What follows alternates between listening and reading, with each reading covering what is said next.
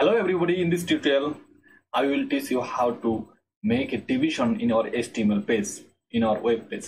So let's see, to make a div or division in our HTML page, we, we have to first use the div tag, okay? div div tag, I'm sorry. Okay, div div tag, okay? So uh, I have to close the div tag also, div Actually, div tag is mostly used in CSS, but in our HTML tutorial, we'll have a basic idea about div tag. So let's start. In the in the first div, uh, what would should I say? In the first uh, div tag, opening tab tag, I have to write that the style of the tag, style style of the division. Okay it will be more clear when we will use our when we will use this in our css tutorial series. Then the in the in between the style we have to write the background color. C o l o background color okay? And background color and we have to use a colon background color. I am taking the green okay? Okay background color is green. Let's see what happen to our page after saving this if i if i refresh nothing if I refresh there is nothing. There is nothing appear in my page. Okay.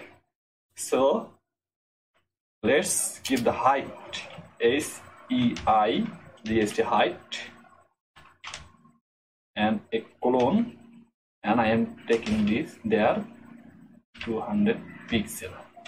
Okay and white w i d t s white in clone 100% okay i hope this will work after saving this if i again refresh my page okay as you can see i have make a division there বড়ই সুন্দর তো বড়ই সৌন্দর্য okay let's make another division here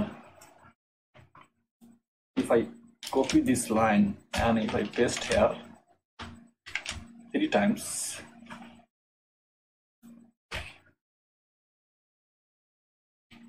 Okay.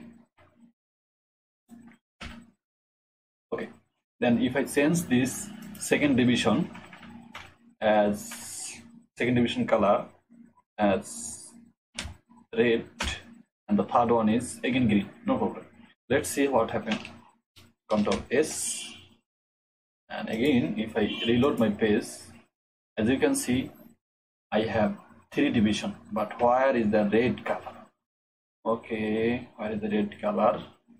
I hope this is the uh, the size of my main page is not compatible with the size I have given there. Isn't it? Maybe.